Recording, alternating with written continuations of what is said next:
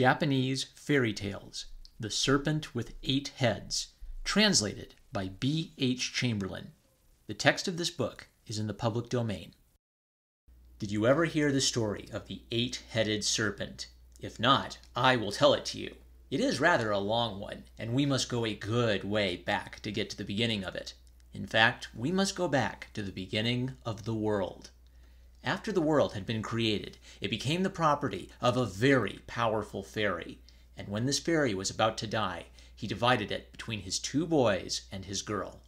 The girl, called Amma, was given the sun. The eldest boy, called Susanoo, was given the sea, and the second boy, whose name I forget, was given the moon. Well, the moon boy behaved himself properly, and you can still see his jolly round face on a clear night when the moon is full. But Susano was very angry and disappointed at having nothing but the cold, wet sea to live in. So up he rushed into the sky, burst into the beautiful room inside the sun, where his sister was sitting with her maidens, weaving gold and silver dresses, broke their spindles, trampled upon their work, and in short did all the mischief he could, and frightened the poor maids to death. As for Amma, she ran away as fast as she could, and hid herself in a cave on the side of a mountain full of rocks and crags. When she had got into the cave and had shut the door, the whole world became pitch dark. For she was the fairy who ruled the sun, and could make it shine or not as she chose.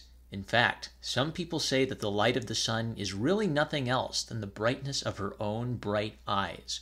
Anyhow, there was a great trouble over her disappearance. What was to be done to make the world light again?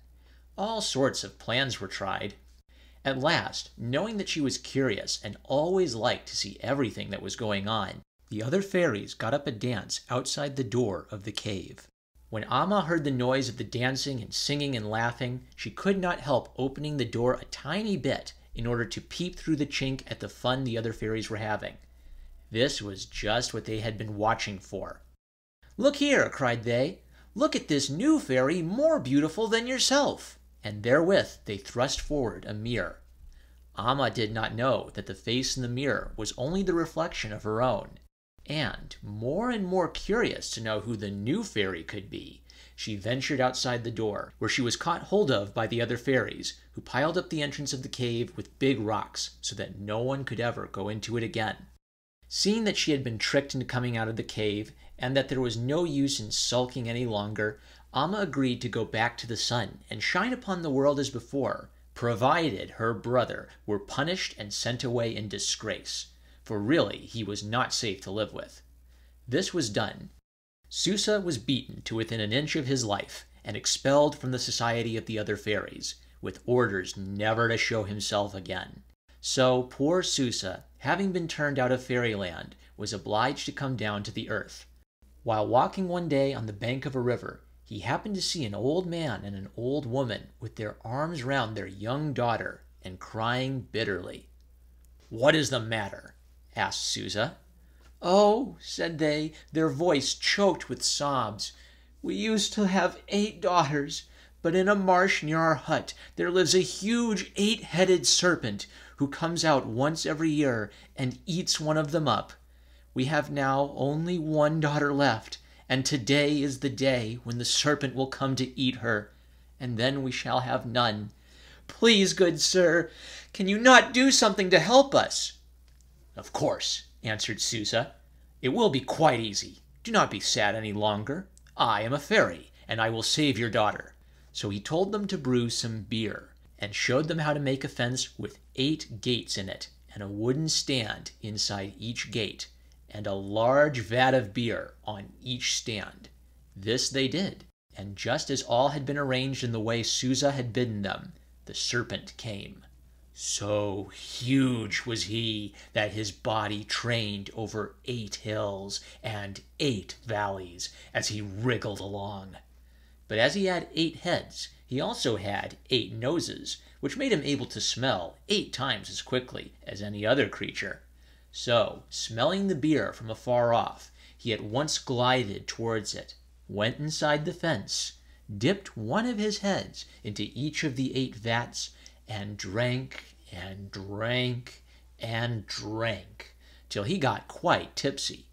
Then all of his heads dropped down fast asleep, and Susa, jumping up from the hole where he had hidden, drew his sword and cut them all off. He cut the body to pieces too.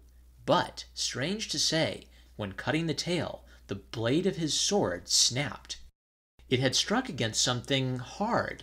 As the serpent was now dead, there was no danger in going up to it and finding out what the hard thing was. It turned out to be itself a sword, all set with precious stones, the most beautiful sword you ever saw. Susa took the sword and married the beautiful young girl, and he was very kind to her, although he had been so rude to his elder sister. They spent the rest of their lives in a beautiful palace, which was built on purpose for them and the old father and mother lived there too. When the old father and mother and Susa and his wife had all died, the sword was handed down to their children and grandchildren, and it now belongs to the Emperor of Japan, who looks upon it as one of his most precious treasures.